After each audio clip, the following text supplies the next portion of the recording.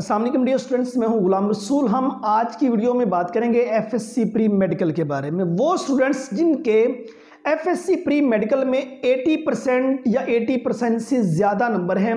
ये आज की वीडियो उन स्टूडेंट्स के लिए है। आज की वीडियो में जो हम अहम बातें डिस्कस करेंगे स्टूडेंट्स सबसे पहले हम बात करेंगे, अगर आपके number F S C pre medical में 80 परसेंट से ज़्यादा हैं तो आपके पास कौन कौन से शोबे आ जाते हैं जिसमें आप एडमिशन ले सकते हैं? सबसे पहले तो वो तमाम डिग्रीज प्रोग्राम आपको बताऊँगा, जिसमें आप एडमिशन लेने के लिए एलिजिबल है। नंबर वन नंबर टू पे वो डिग्रीज प्रोग्राम आपके साथ डिस्कस करूँगा, जिनका पाकिस्तान में भी स्कोप है और फॉरेन कंट्री में भी स्कोप है, उसके बारे में डिस्कस करूँगा। और तीसरे नंबर पे डिस्कस करूँगा, अगर आपने एफ़ एफएससी प्री मेडिकल कर ली, आपके 80 परसेंट या इससे ज़्यादा नंबर हैं तो आप जॉब करना चाहते हैं तो कहाँ कहाँ आप स्टूडेंट्स को जॉब्स ऑफ़र होती हैं तमाम चीज़ें हम आज की वीडियो में डिस्कस करें, डिस्कस करेंगे। स्टूडेंट्स, अगर आपने एफ़ एस प्री मेडिकल की है, और आपके नंबर 80 परसेंट से ज़्यादा हैं। आपके पास सबसे पहले हम जो मेडिकल डिग्रीज प्रोग्राम हैं, उनके बारे में डिस्कस करते हैं। स्टूडेंट सबसे पहले एम बी बी एस आप कल को एम के लिए एलिजिबल हैं, आप बी डी एस के लिए एलिजिबल हैं, और उसके बाद वो दीगर डिग्रीज प्रोग्राम जिनको कंप्लीट करने के बाद आप अपने नाम के साथ डॉक्टर का लफ्ज़ इस्तेमाल कर सकते हैं, जिसमें फार्म डी है doctor of pharmacy DPT doctor of physical therapy और उसके बाद DVM doctor of veterinary medicine. मतलब ये वो पाँच डिग्री प्रोग्राम है जिनको कंप्लीट करने के बाद अपने नाम के साथ डॉक्टर का लफ्ज़ इस्तेमाल कर सकते हैं। इससे हट के आप कल को बीएस नर्सिंग में एडमिशन ले सकते हैं। बीएस मेल नर्सिंग भी है। अगर बॉयज़ नर्सिंग करना चाहें तो वो भी बीएस मेल नर्सिंग में एडमिशन ले सकते हैं। गलत तो ज़ाहिर सी बात है नर्सिंग का डिग्री प्रोग्राम उनके लिए ऑफ़र हो रहा है।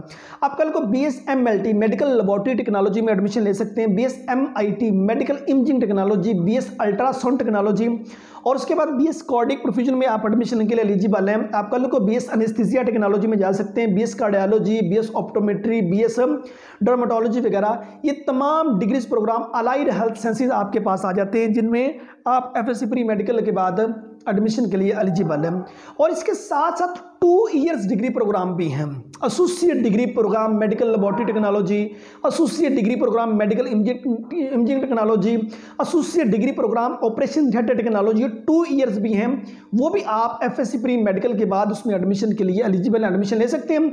वो दो साल कंप्लीट करने के बाद कल को आपको बी के पाँचवें सेमेस्टर में एडमिशन मिल जाएगा। कुछ यूनिवर्सिटी टू इयर्स भी ऑफ़र कर रही हैं।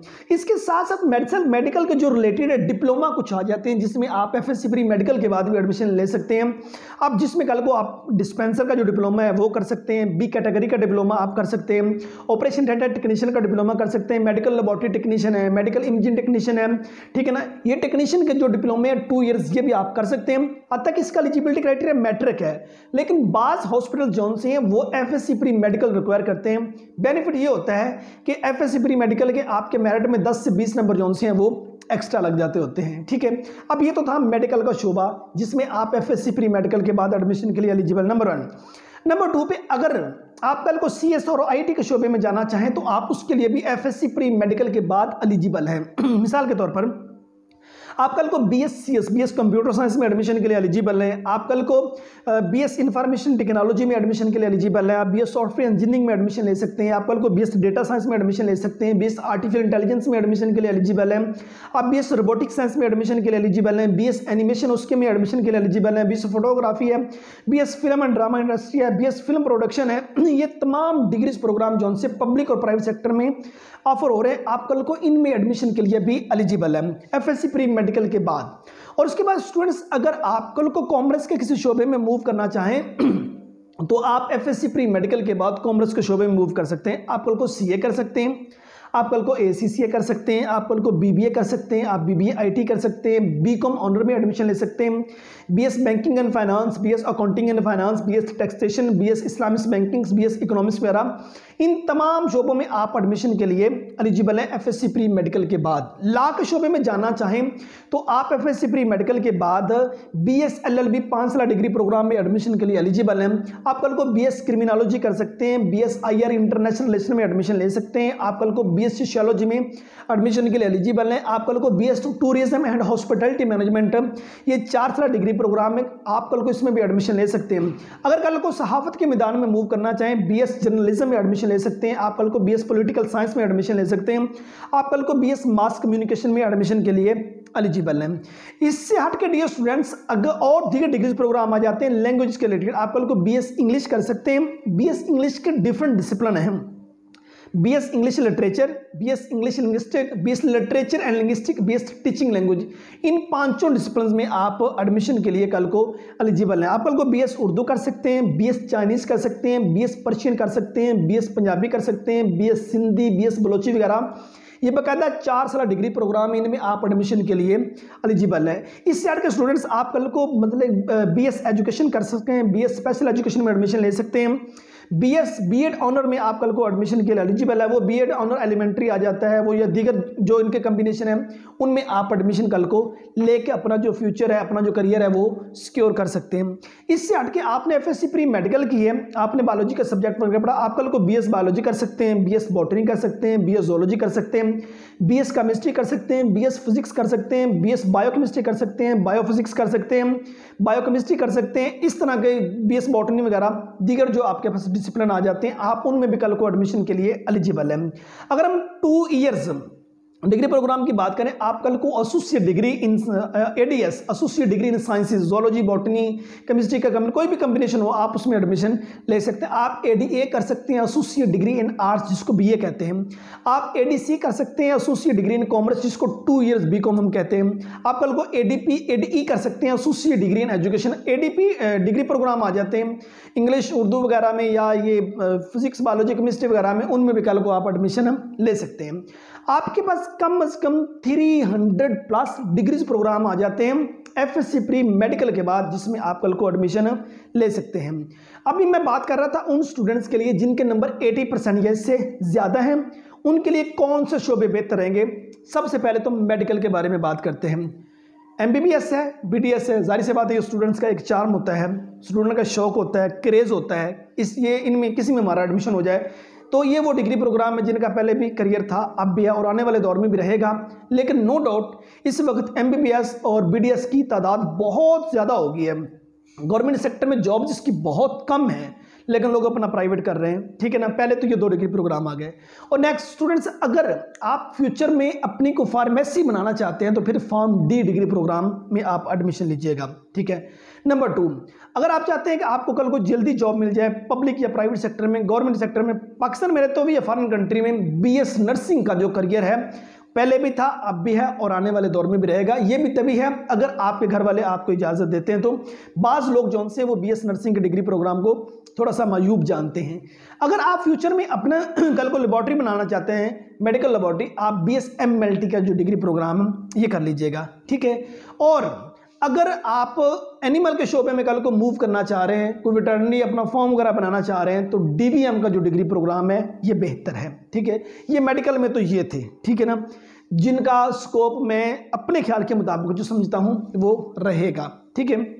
अब इसके, ये नहीं कि बाकी डिग्री प्रोग्राम का नहीं है, उनका भी स्कोप है, लेकिन इनकी नस्बत कम है। इससे हटके अगर डियर स्टूडेंट्स आप आईटी के मतलब कि आपको क्रेज़ है, आप आईटी के शो में मूव करना चाहते हैं, ठीक है? तो स्टूडेंट्स आप बी एस सी एस चाहे कर लें B S I T B S software engineering B S data science B S artificial intelligence ये जो पाँच डिग्रीज प्रोग्राम इनमें कोई भी आप कर लें, अपने सब्जेक्ट पे ग्रिप हासिल कर लें तो आप डिग्री कंप्लीट होते ही अच्छी खासी अर्निंग जोन से वो स्टार्ट कर लेंगे। अगर आपको साथ प्रैक्टिकल नॉलेज आता है तो। उसके बाद अगर फ्यूचर में आप अपना बिज़नेस करना चाहते हैं, ठीक है, या कोई प्राइवेट मतलब या पब्लिक सेक्टर में जॉब करना चाह रहे हैं बैंकिंग का शौक है आपको, आप सीए की कोशिश कीजिएगा, क्योंकि आपके नंबर अच्छे हैं एटी परसेंट प्लस पे जारी सी बात, आप पढ़ाकू बच्चे होंगे, पढ़ने वाले बच्चे होंगे तो आप कल को सीए चार्टेड अकाउंटेंसी ठीक है ना? नो डाउट ये कोई आम ये डिग्री प्रोग्राम नहीं है, इसके लिए मेहनत करनी पड़ती है, डेली का कुछ सात आठ घंटे पढ़ना पड़ता है। फिर जाके मतलब कि आप इस डिग्री को कंप्लीट करते हैं, आप सीए कर लें, ठीक है? तो ये कॉमर्स के अंदर ये डिग्री प्रोग्राम जो है, वो ज़्यादा बेहतर है। वकील बनने का शौक़ है तो ला का जो डिग्री प्रोग्राम है, इसको चूज़ कीजिएगा एलएलबी को, ये आपके लिए ज़्यादा बेहतर रहेगा, ठीक है? तो ये थे वो चंद डिग्री प्रोग्राम। अगर कल को घूमने का शौक है, पाकिस्तान घूमना है, दुनिया घूमनी है best tourism and hospitality management ये वाला डिग्री प्रोग्राम कर लीजिएगा। ठीक है? कंपटीशन के किसी एग्ज़ाम का शौक है कि शुरू में कोई मतलब कि सिंपल सा डिग्री प्रोग्राम चूज़ करूँ आसान सा, और साथ साथ C S S P M S या पी सी एस वगैरह की, या पी एम एस की तैयारी वगैरह शुरू कर दूँ तो उसके लिए आप बी एस इंग्लिश का जो डिसिप्लिन है बी एस इंग्लिश का जो डिग्री प्रोग्राम है, उसको चूज़ कर लीजिए, ठीक है? ये वो चंद अहम डिग्री प्रोग्राम थे जो मैं अपने ख्याल के मुताबिक, अपने आइडिया के मुताबिक इससे हट के दीगर डिग्री प्रोग्राम भी हो सकते हैं, जिसमें मतलब कि आपका करियर है। मीन आप लोग एग्रीकल्चर में मूव करना चाहते हैं तो जैसे बी एस एग्रीकल्चर है। वो डिग्री प्रोग्राम कर कर सकते हैं। अब इसके बाद लास्ट हमारी बात है जॉब के लिए अगर आप कल को अप्लाई करना चाहें, ये आपकी क्लासें यहाँ हो जाती हैं बारह, इसे कहा जाता है इंटरमीडिएट इंटरमीडिएट बेस पर आप कल को Punjab police army navy air force वापडा NADRA judiciary department education department में क्लैरिकल क्लैरिकल सीट्स होती हैं। उन तमाम जगहों पे 12 क्लासों की बुनियाद पर आप जॉब के लिए अप्लाई कर सकते हैं। लेकिन अगर आप चाहते हैं कि आपको 12 क्लासों की बुनियाद पर एक अच्छी जॉब मिले जिसका मतलब कि पे स्केल भी अच्छा हो तो स्टूडेंट्स आप एफ़ एस प्री मेडिकल के बाद शॉर्ट एंड का कोर्स कर लीजिए। पिटमैन इंग्लिश शॉर्ट एंड ये आपको चार, पाँच छः माह के अंदर ही आप कोर्स कर जाएँगे शॉर्ट एंड का। इसके साथ कंप्यूटर टाइपिंग भी सीख लीजिए।